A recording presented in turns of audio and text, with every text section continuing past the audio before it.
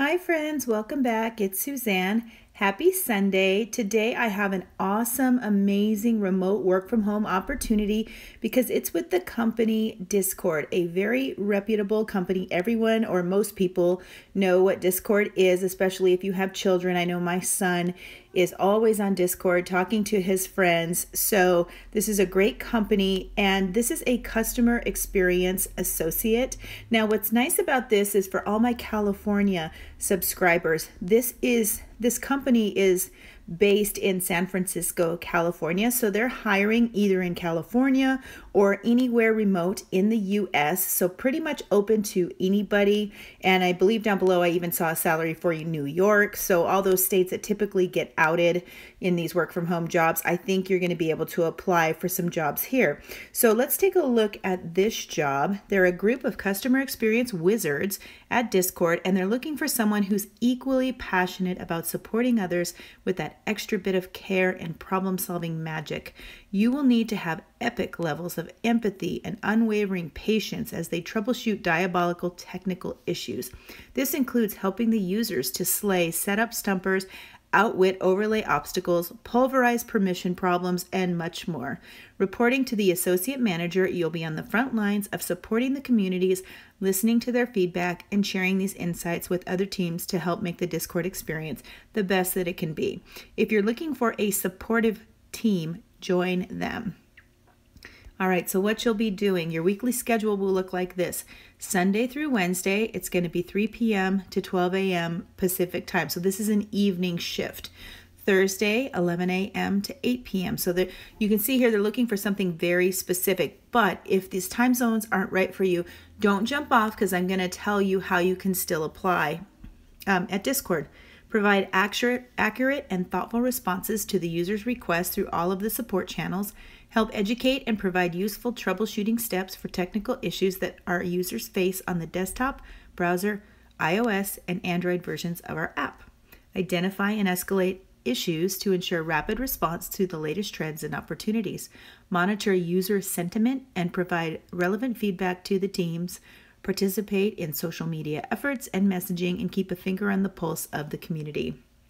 So here's what you need to have a cover letter. One of the most important steps, don't skip it. They want to hear from you what motivates you, any previous experience you'd like to highlight, and why you would like to join Discord. So when you create this cover letter, make sure you've done a little bit research on Discord or if unless you already know a little bit about it and explain why you want to join the Discord team and company.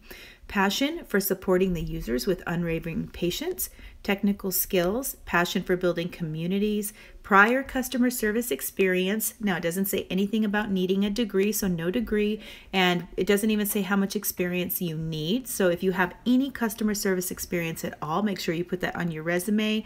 And then I'm thinking that's going to be enough if they're interested in you. Commitment to diversity and, and inclusion. Now, bonus points. So these are kind of preferred qualifications, but not required.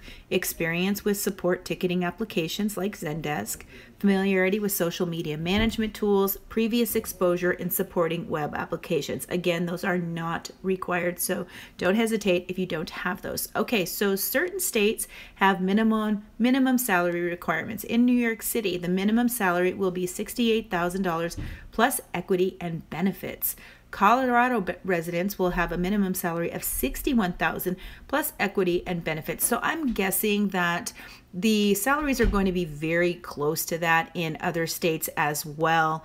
Um, it's just that they probably have to disclose that they are providing a minimum salary here for these particular states. Here's some benefits and perks comprehensive medical insurance, mental health resources, holidays, parental leave, stipends for headphones, your remote work setup, and lunch on a daily basis. So they're going to pay for a lot of your equipment here. They're going to cover it. That's awesome.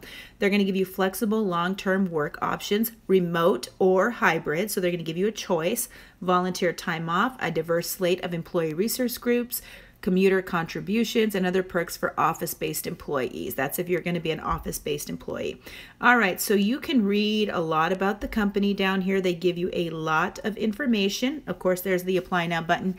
Uh, you can't click it on the screen here. Obviously, that's not going to work, but I'm going to put that link down below in the description for you so that you can go there and apply for this job. Now, for those of you who didn't have the qualifications we talked about earlier, Discord is one of those companies that is hiring multiple positions. So if you can't work the night shift, you're going to look for a customer service experience in the day shift. So you're going to look for that AM versus the PM in the job description, okay? I'm going to put the link to that Discord career page as well so that you can go and check out all their jobs. And uh, I'm pretty sure most of them are open to remote in the US. If I think it tells you in the uh, job description pretty clearly if they're open to that. So, uh, if this job isn't right for you, make sure you're subscribed. I put up job leads every single day. I try to do one to two.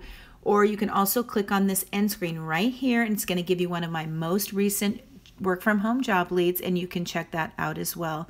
All right, let me know down in the comments if you made it this far.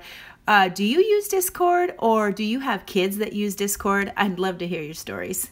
All right, guys, I'll see you next time.